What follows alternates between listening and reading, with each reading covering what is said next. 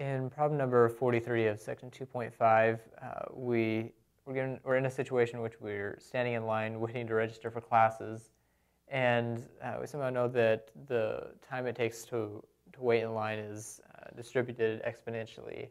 We also know that the mean is 12 minutes. we're asked a few questions about the probability, like what's the probability that we have to wait less than 12 minutes, between 10 and 20, and uh, what are our chances of having to wait in line more than 25 minutes. Uh, we're given that the mean is equal to 12 minutes. And a few problems back, we computed that the expected value, which is the same as the mean, is of a random variable that, that follows an exponential distribution, is 1 over lambda. So we know that this is equal to 12 in this case. This means that lambda is equal to 1 over 12. Now, probability, um, the student will have to wait less than 12 minutes.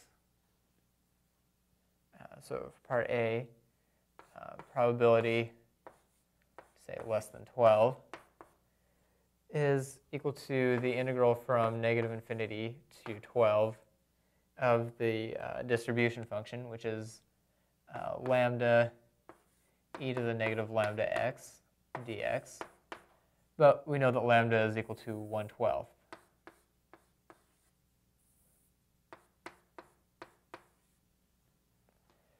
And similarly for part B, the probability that, um, say if this is our, if our uh, waiting time is x, so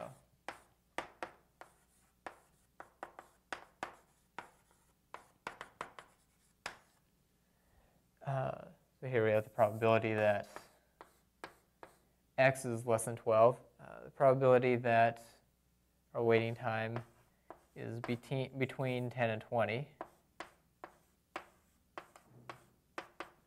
Uh, this will be equal to the integral from 10 to 20 of 1 12th e to the negative 1 12th x dx.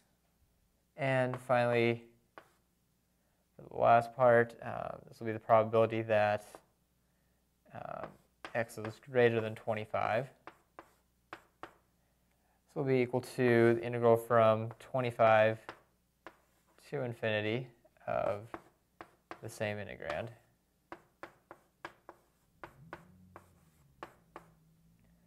Now, the first two are really straightforward uh, in computing the the integral.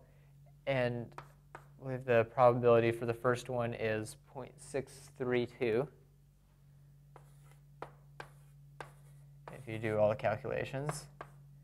And probability that you'll have to wait in line between 10 and 20 minutes is point two, approximately 0.246. And now for the last one, uh, the integral is not quite so straightforward because you have an improper integral uh, from 25 to infinity. And although technically that was uh, the case in the first one, remember that the exponential distribution is 0 for all values less than 0. And if x is greater than or equal to 0, it follows this, it's uh, given by this formula. So really, it's the same thing as the integral from 0 to 12. But we can't quite do that in this one because this formula actually is defined for all values greater than 25. Uh, but we do know that the probability um, of, of all, the probability that some, you have to wait some time in line is 1. Um, so the probability that you have to wait more than 25 minutes is actually going to be equal to 1 minus the probability that you'll have to wait less than 25 minutes. So 1 minus 25 to, uh, or excuse me, 1 minus 0 to 25 of 112, 1 over 12 times e to the negative 1 12th x dx. And now if we uh, compute this, which uh, this integral is a lot easier for you to compute, uh, you'll find that the answer is about 0.125.